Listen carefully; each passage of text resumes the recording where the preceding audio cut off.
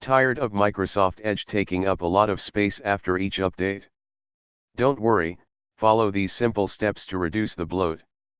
First, navigate to your Windows install partition or disk, then click on Program Files, x86, and select the Microsoft folder.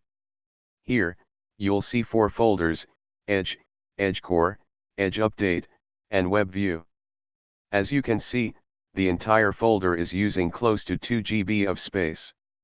Now, let's check the actual location of the Edge shortcut icon that's pinned to your taskbar. You'll notice that it points to the Edge folder.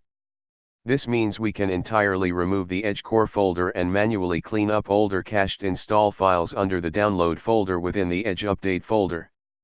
You can also use a tool like BleachBit to thoroughly clean up cached install files for Edge update, logs, and cache.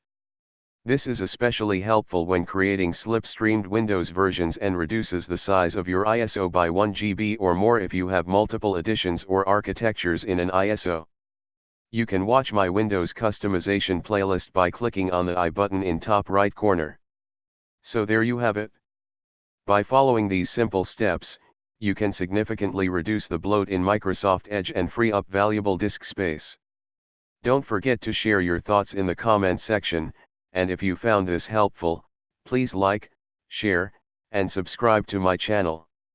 Thank you once again to all my subscribers and the community for your continued support.